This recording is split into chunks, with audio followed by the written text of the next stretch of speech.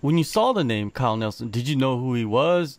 Was he on your radar? No, um, I didn't know who he was. I thought they were going to match us, match me back up with Gavin Tucker, who, mm. uh, hmm. you know, we were matched up with before, but I guess he already had a matchup. So I had to look up Kyle Nelson, and uh, I didn't know who he was. But then I remember um, I looked, at, I watched his last fight, um, he fought uh, was it Polo Reyes, yeah. and I knew Polo Reyes because he beat my teammate Matt, um, and I remember kind of cheering for Kyle because um, uh, Polo Reyes tested positive for steroids, and so I, I, never liked that. I'm, I'm I'm usually against guys like that, so I actually I actually watched Kyle Nelson fight before, and I actually cheered for him because he knocked out Polo Reyes right away, mm-hmm. not even thinking that I would I would eventually fight him. So the only I, I didn't know I didn't put the name together. You know, I didn't put two and two together until I saw that and I watched that fight again.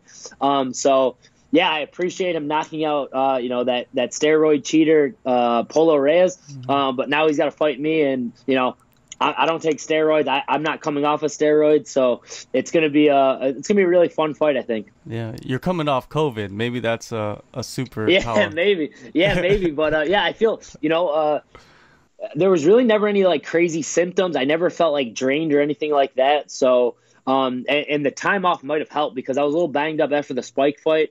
So I was able to, uh, you know, do my strength and conditioning and uh, I feel 100% now. I feel great going into this fight, and I was actually able, you know, going into the Spike fight. We basically only did Zoom workouts. We did a lot of Zoom workouts. We did some secret training sessions, but now, uh, now in Florida, you know, our gyms are opening back up. My strength and conditioning gym is opening back up, so uh, you're going to see a lot stronger, a lot faster Billy Q this fight than last fight. Stylistically, do you see anything unique about Nelson? Let's say compared to Spike Carlyle, because Spike Carlyle is a unique character. Yeah, yeah, you know, like uh, Spike kind of kept me up at night, just wondering what this crazy guy's gonna do. Um, with Kyle, I think we kind of know, and we kind of know what to look for. You know, he's uh, he's a very fundamentally sound striker. He's a he's a good striker. He mixes in wrestling really well, um, and he, and he's a big power puncher. So we obviously got to worry about you know we obviously can't get caught. Uh, you know, staying in the pocket for too long, getting clipped with with one of those big power shots. Um, but overall, I, I, like the matchup. You know, I, I like the matchup right away, and uh, you know, I'm not in any position to turn down any fights. I wouldn't do that anyway. So uh, you know, let the let the best man win. I think we got a lot of uh, a lot of advantages going into this fight, and uh, I think it's going to be a fight of the night. I think it could be it could be a fight of the night or a performance of the night if uh, if I can get a hold of him early. Two fights in the UFC. You know, you had a great fight on Contender Series, one submission, one slobber knocker of a fight. The last one. You know, uh-huh. what type of performance? You say fight of the night or performance of light. Do you see like a, a, a more of a possibility of a knockout or a, a submission again?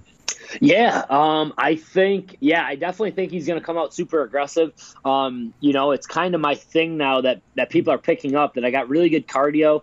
Um, and if we do go three rounds, I'm going to be going hard in that second and third round. So I think he's going to try to get me out of there quick. He's going to try to put me away. That could that could uh, you know, lead to some openings.